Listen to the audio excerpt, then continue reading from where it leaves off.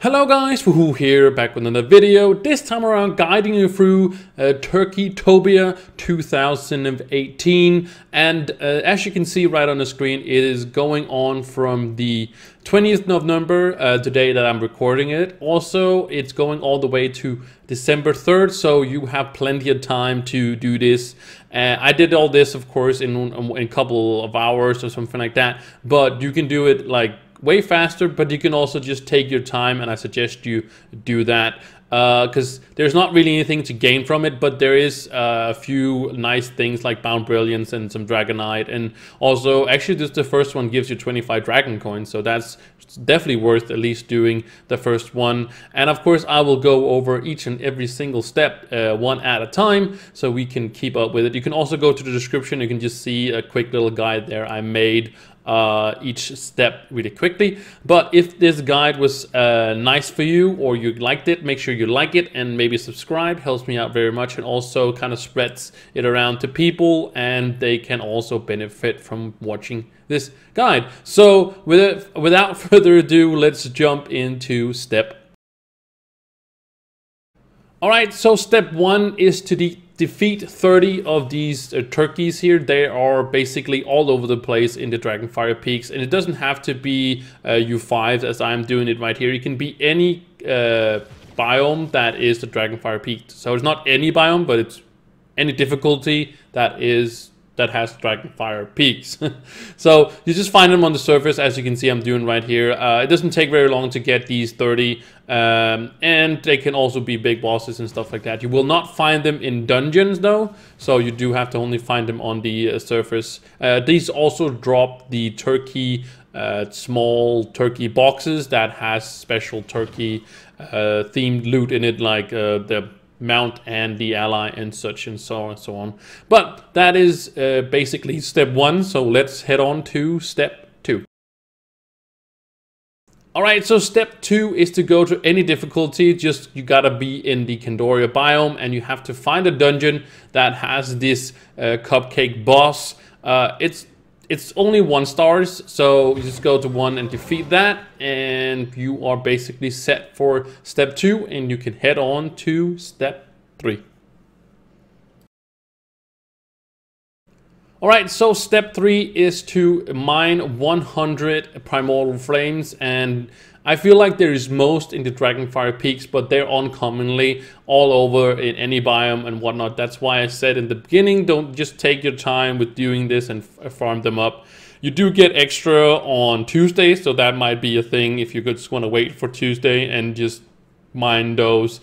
Uh, like you can see here, right here, I am not having too many, and I actually think I did this in like a couple of minutes, actually. I'm not sure if you can get them off the marketplace or not, but that could also be an option if you were interested. You could probably like buy one, see if that works, and then if you just want to do that. But it doesn't take very long, like a couple minutes to just get these if you go to the Dragonfire Peaks, or you can go in any biome and just find them randomly, and you will be done with step three. So let's head to step four. So step four is pretty simple. You just have to loot collect uh, anything that gives you blank scrolls. So like uh, recipes or block recipes or something like that. If you have some lying around, you can just use those or buy some off the marketplace and loot collect them. Maybe you can also just buy the blank scroll off the marketplace. I'm not sure, but it's very easy, simple step. So there's not really more to it than that. So let's jump on to step five. All right, so step five is to collect three Fey Dust, and you do, of course, this in the Fey area uh, biome. And uh, you just have to defeat uh, dungeons or enemies on the surface. Anything that you can defeat in the biome is going to have a chance to drop you some Fey Dust, and you're only going to get three. I uh, only need to get three. Uh, so it's took me like two and a half minutes or something like that to getting these and it's all random. Sometimes you're gonna get it faster sometimes you're gonna get it you know a little bit uh, longer than that. Uh, i'm not sure if you can get it off the marketplace or not. Uh, maybe people can comment below also with the previous steps if there was uh, if you're actually able to get it off the marketplace and if people want to kind of skip ahead a little bit quicker uh, with the different steps and whatnot. But it's all random. Like i said it took me a little bit longer than i actually thought uh, but you only need to collect three Fey Dust. It doesn't gonna take you very long, so I suggest you just like do it when you are randomly doing dungeons or whatnot. So that was a little bit more of a rant on step five. So let's jump to step six. All right, so step six is to go to Bomb Royale and throw 20 bombs. Uh, you don't have to win, you don't have to do anything, you just have to throw 20 bombs. You can actually just start, be in the beginning and, just throw them there. It's not like the bombs has to hit people or anything like that. It's just basically throwing the bombs whenever you have energy and you can just do that. Uh, I do suggest that you do participate, kind of, because there is a chance. Uh, I'm not going to show you the whole thing I did, but I actually uh, actually managed to get top uh, six. I got the sixth place, so I actually got a, a you know a PvP coin out of it actually just randomly, and that's always nice to get a random PvP coin.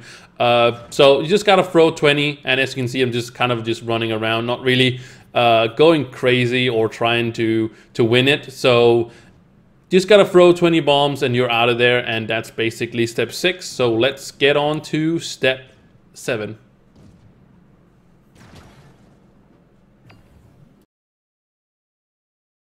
All right, so step seven is to defeat cannoneers and sailors around the uh, treasure islands. They are a little bit harder to get. I suggest if you find the big dungeon with the lighthouse on it, I think that has a lot of these guys around. So if you see that one, definitely go for it. But you just gotta go uh, to the treasure island biome and you know that's the one with the little uh, steering wheel on it. So just go there, find some dungeons. I also found that these these small lighthouses actually have a good amount of these guys in there as well. It's a little bit more of a tricky uh, step, maybe maybe the hardest step of all of these. So, uh, like I said, it took me a couple of hours also recording then some of this. So, yeah, it's probably going to take you way less as you know you're not recording the footage as I am, basically. So, more or less, very easier step than most, but still a little bit tricky to find these specific ones because they're not too common uh, unless you find like the right dungeons and stuff like that. Like I said, a good idea is to find the lighthouse, the big three star lighthouse dungeon. That is that's a little bit uh, easier to to to do all of these uh, cannoneers and sailors. But that was uh, step seven. Let's head on to step eight. All right, so step eight is to go to the desert frontier biome. And you can of course do this in any difficulty. You just have to find a one star dungeon or maybe even a three star dungeon uh, where it says that you have to defeat a Saloon bot mayor. And this is how he looks. It's like the square brown guy there. And you just defeat that and you're basically done with step eight.